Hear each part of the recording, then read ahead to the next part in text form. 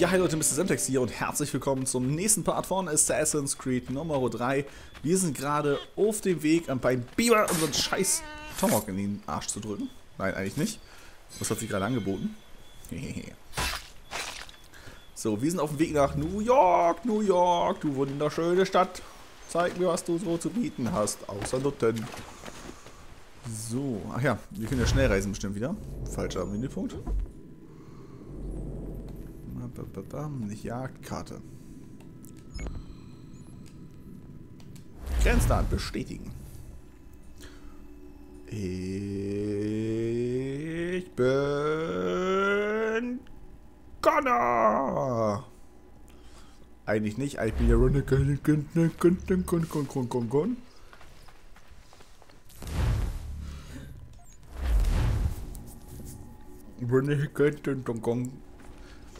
So. Mich würde es interessieren, ob man hier irgendwas anderes so machen kann, außer so blöd durch die Gegend zu rennen. Weil irgendwie lutscht das richtig Schwanz, muss man ganz ehrlich sagen. Oh, haben wir hier getanzt? Oh, ah, ah, oh, ah, ah, oh, ah. Ah, oh, ah, oh. Bonnie? Bonnie! Bonnie! Du verficktes Höllenvieh. Sieht so jedes Mal anders aus. Bonnie, Bonnie, Bonnie. Aber vielleicht kann ich auch wieder schnell hinreisen. Ah, was kann ich hier machen? Abenteurer. Interaktives Gespräch. Taverne, Feder, Aussichtspunkt. Jagdgesellschaft, Aussichtspunkte, Truhen, New York.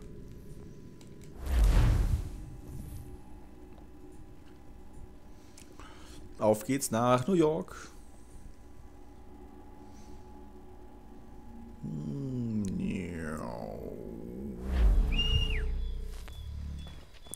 Ja, ich möchte nach New York. Ich möchte, ich will, ich will. Lass mich nach New York. Neff York.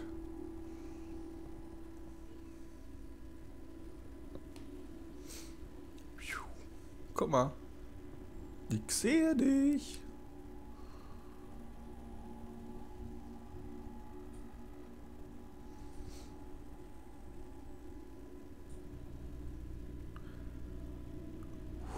Bin so cool. Ah, ich bin so cool. Ah, ah, ah, ah, ah. Ja, ja, ja, ja. Gib mir den Booty Shake with the Harlem Shake.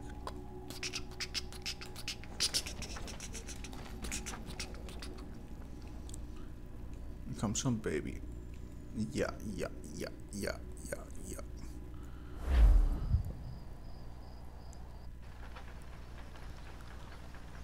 Oh, jetzt kommt anscheinend eine Videosequenz. Es lädt wieder so lange.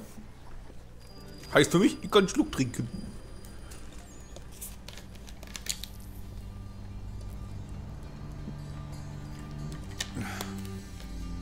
Mensch, voll lange Videosequenz. Ach. Komm, komm, die Flasche wegstellen.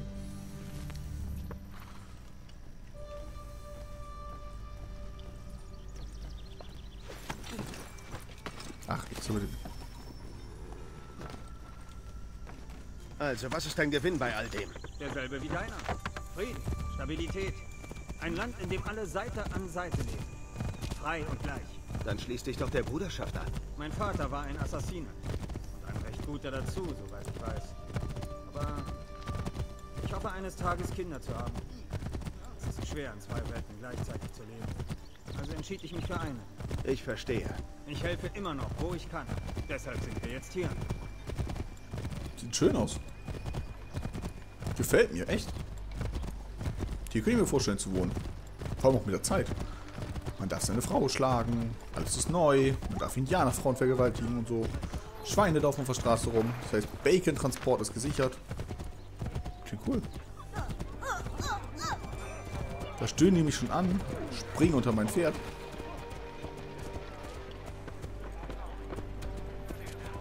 Was kannst du mir über Thomas Hickey sagen? Er war der Kopf eines Fälscherrings hier in der Stadt. Finde den Sitz seiner Organisation und wir lassen ihn verhaften. Vom Gefängnis aus kann er dem Commander nichts antun. Weißt du denn, wo er ist? Nicht exakt, aber ich habe eine Idee, wo wir die Suche beginnen können. Dass die ganzen Leute nicht rein, dass hier ein Pferd kommt, ne?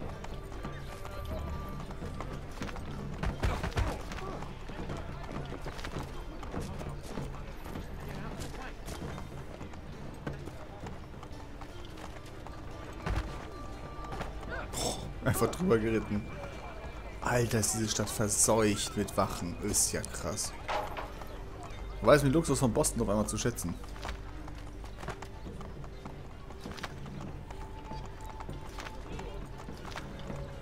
Ach, riesig. Riesige lange Straße. Mein Gott.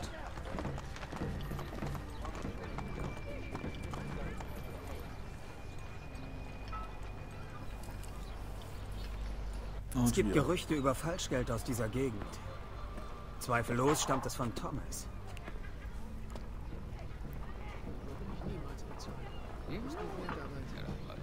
Was soll das? Das ist kein Geld. Nur buntes Papier. Du hast mich zum letzten Mal betrogen. Wache!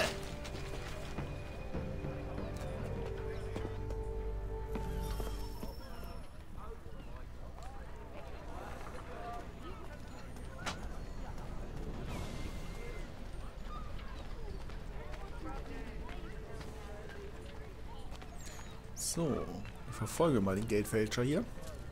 Hast du noch einen Stapel für mich, mein Freund? Darf ich ihn umbringen?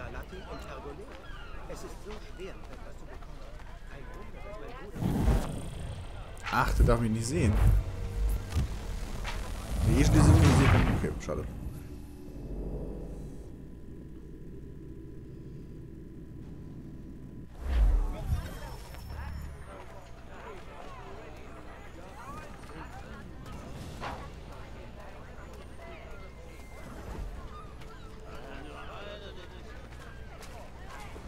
So. Geldfälscher verfolgen. Chance Nummer 2. Ich muss mich hier zwischen die Leute stellen. Überall sollen das Abwassersystem und die Dämme verbessert werden. In aller Bescheidenheit, wir Holländer verstehen das schon was.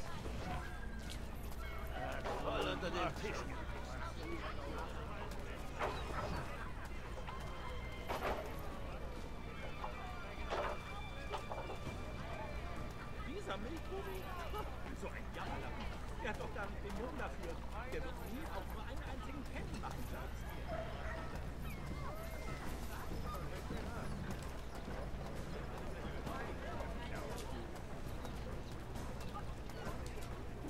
So, sehen wir uns hier wieder in die Gruppe rein.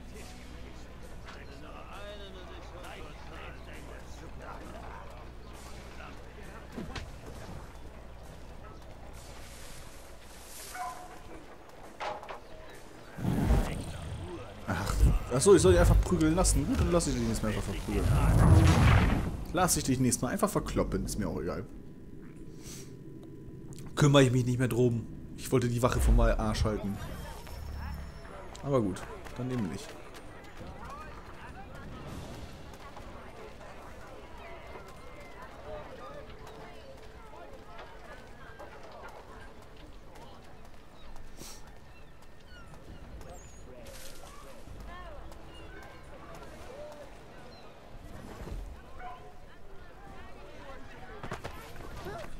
Lasst ab, Sir!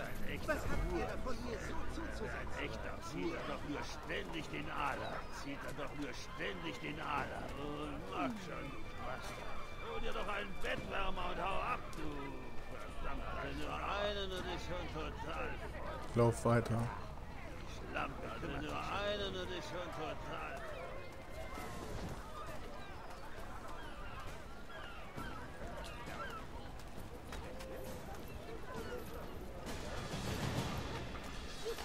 Wachen ihrer Anwesenheit tolerieren.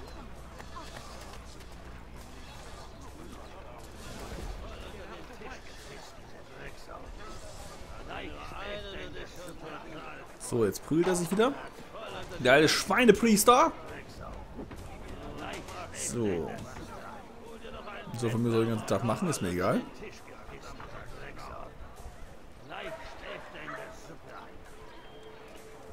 Dann läuft er wieder zurück.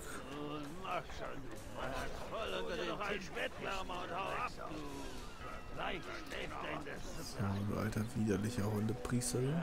Voll unter den Tisch gepisst, diese Drecksau. Leicht schläft er in der. Nur einen und ist schon total.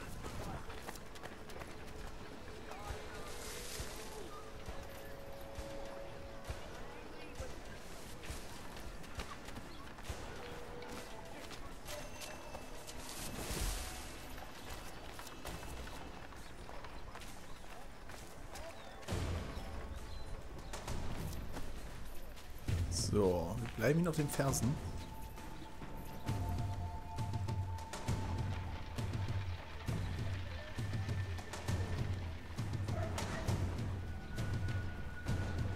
Oh.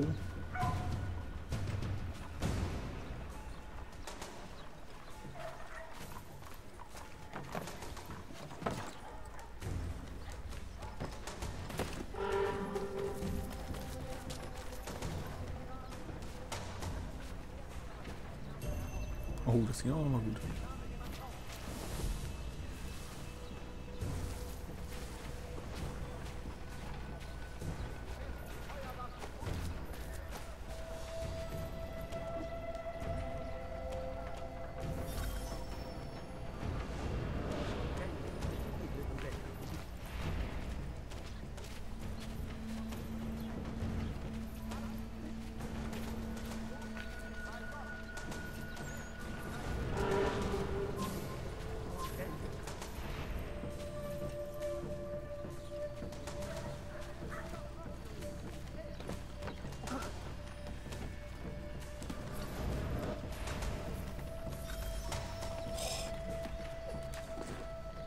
das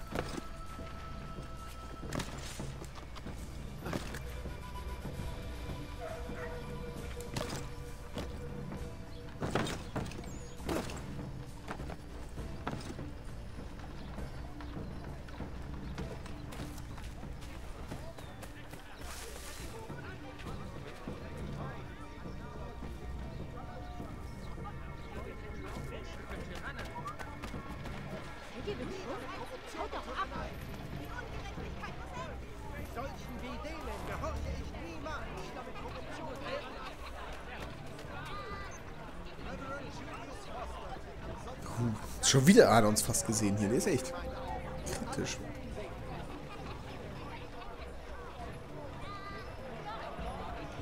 Lauf weiter, Kollege. Lauf weiter.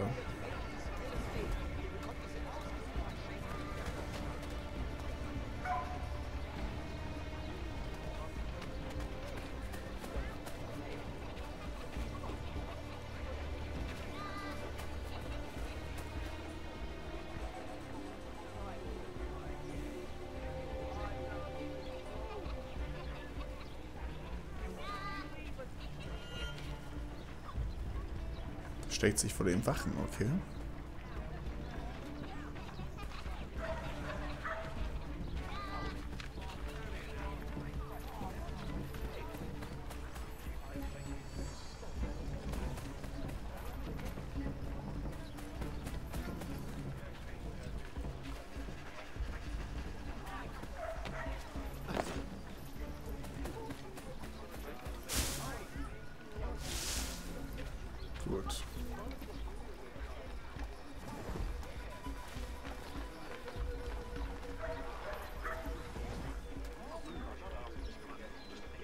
Lauf, Indianer.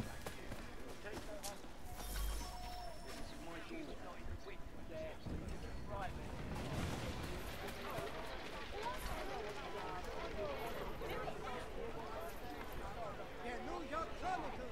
Hier für nur einen Penny.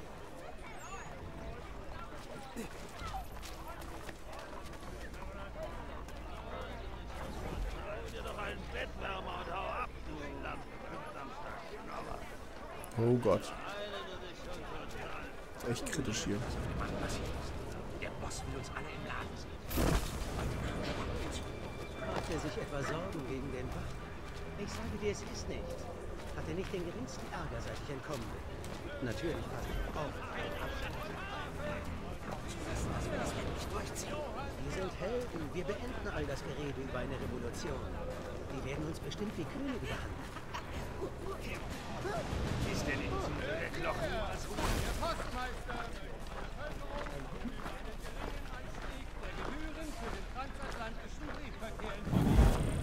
Mann. Ja, wo hätte ich denn hin sollen? Wenn ich weggehe, werde ich desynchronisiert, weil ich außer Reichweite bin. Wenn ich da stehen bleibe, werde ich desynchronisiert, weil er mich entdeckt. Ich komme mich aber auch nirgendwo verstecken. Mann, ey. So eine Level hasse ich ja wieder, ne? So eine Level hasse ich wie die Pest.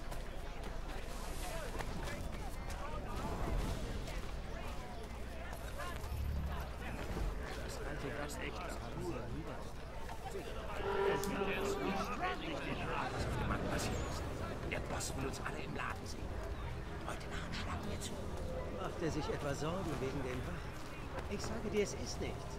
Hatte nicht den geringsten Ärger, seit ich entkommen bin. Natürlich passe ich auf auf und halte Abstand. Kaum zu fassen, dass wir das wirklich durchziehen. Wir sind Helden. Wir beenden all das Gerede über eine Revolution. Die werden uns bestimmt wie Könige behandeln. Revolution. Eine Bande Unruhestifter macht die Pferde scheu, weil ihnen jemand Flausen in den Kopf gesetzt hat. Machen jetzt guten Männern alles. Gute Männer?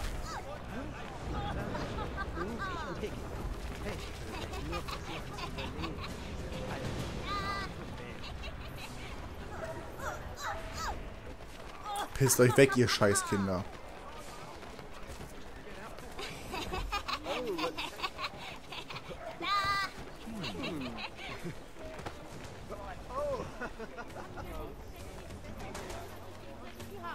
Bloß nicht mit mir an. Hau ab, bevor du es bereust.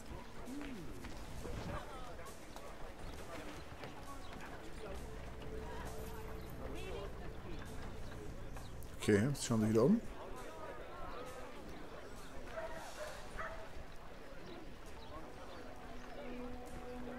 Ich habe schon ein paar raue Burschen gesehen im Leben. Die hier waren auch. Allerdings, der Kerl, der dabei war, war ein Okay, das hat schon mal geklappt.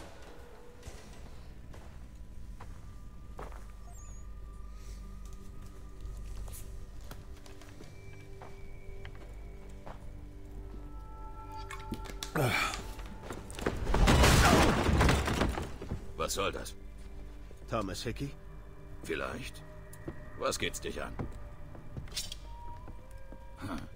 Sollte dein Orden nicht ausgelöscht sein? Schätze, dann muss ich das richtig stellen. Packt ihn!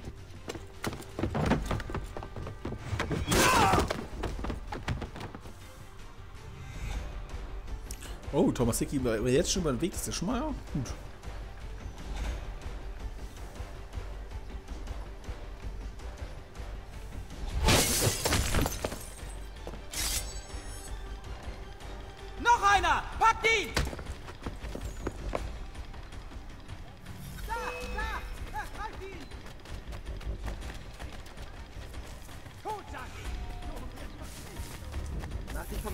Mann. Das ist mein Geld. Ich darf so wieder anrempeln und schubsen, wie ich möchte. Habe ich ihn.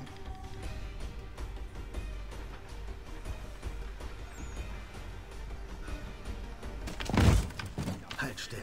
Du stiftest kein Unheil mehr. Du bist ein Narr, mischst dich in Dinge ein, die du nicht verstehst. Washington ist das Einzige, was die Kontinentalarmee zusammenhält. Tötest du ihn, stirbt auch jede Hoffnung auf Freiheit. Falsch, Bursche. Ohne ihn ginge die Verantwortung über an Lee. Und dann? Ihr seid beide verhaftet! Ach, kommt. War doch nur ein kleiner Streitofficer. Bist nicht kriminell, wenn zwei Männer ihren Twist auf altmodische Art klären. Können wir uns nicht... Äh, Still! Aufgrund welcher Tat? Falschmünzerei! Damit hatte ich nichts zu tun. Natürlich nicht! Hör zu, hier steht Wichtigeres auf dem Spiel. Dieser Mann hat vor... Ja, nächstes Mal gleich ein Messer ins Gesicht drücken.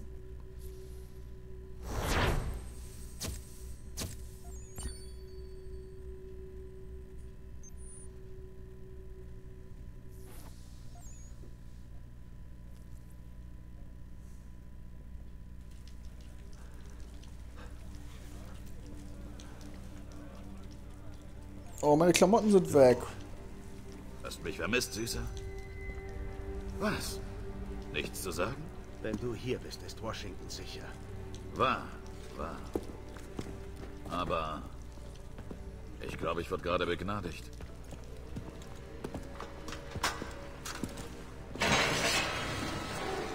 Vielen Dank für die Rettung, Gentlemen. Es dürfen keine Fehler mehr passieren, Thomas. Ist das verstanden?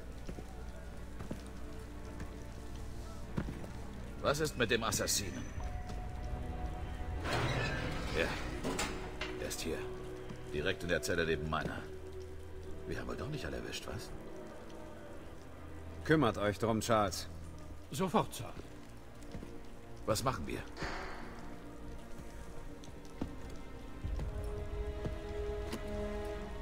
Du bist der Bursche vom Kontinentalkongress. Adams kleiner Schoßhund. Hm. Ich habe da eine Idee. Ja. Zwei Fliegen mit einer Klappe. Erzähl. Wenn die Zeit reif ist. Der Assassine wird uns schon nicht davonlaufen. Zunächst sollten wir dir eine bessere Unterkunft suchen. Was redest du da? Ich dachte, ich komme hier raus. Ich fürchte, du kommst ein Weilchen nicht raus, wegen Benjamin Talmadge. Er zerreißt sich das Maul, erzählt alles Mögliche. Du wirst verdächtigt, einen Anschlag auf George Washington vorzubereiten. Was für ein Plappermaul. Ich dachte, ihr kümmert euch darum. Wir besprechen das woanders. Oh, ist mal nice. Charles Lee ist ein Arschloch. Ein Arschi, Arschi, Arschloch. Ah, ich bin müde.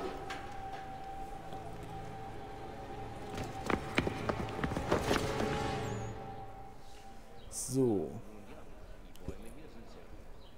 Steh doch mal auf, Junge. Ich sag's dir, er wird von hier fliehen. Wir sollten uns anschließen. Ja? Und wie kommst du darauf? Er hat im Hof irgendwas geschnitzt. Steckte es schnell in die Tasche, als er mich sah. Sah aus wie ein Schlüssel. Bestimmt nur ein Messer. Nein, Mason kämpft nicht. Der lügt und betrügt, um Ärger zu vermeiden. Weasel Weems nennt man ihn. Den Schweinehund. Komm schon, Finch, so übel ist er nicht. Brachte mir sogar ein paar Buchstaben bei. Ich werde nämlich meine alten schreiben. Wozu? Glaubst du, die Schlampe sitzt rum und verzehrt sich nach dir? Spart sich auf für deine Freilassung? Hä? Die hat bestimmt längst den nächsten Kerl und den übernächsten. Halt bloß dein Maul, sonst stopf ich's dir. Reg dich ab. War nur ein Witz. Ja, kann ich aber nicht drüber lachen. Uh, schlafen gehen. Harte, härteste Mission überhaupt. Gut, meine lieben Freunde, dann gehe ich jetzt schlafen und äh, würde sagen, im nächsten Part brechen wir mich hier aus dem Knast aus, ganz gechillt. Und äh, schauen dann mal, was uns so der nächste Part offen hält, wenn wir hier wieder frei sind und mal ein paar schöne Templer-Ärsche treten können. Ich würde mal sagen, meine lieben Freunde, bis denn. Ich wünsche euch noch einen schönen Tag. Tschüss, euer Mr. Semtex.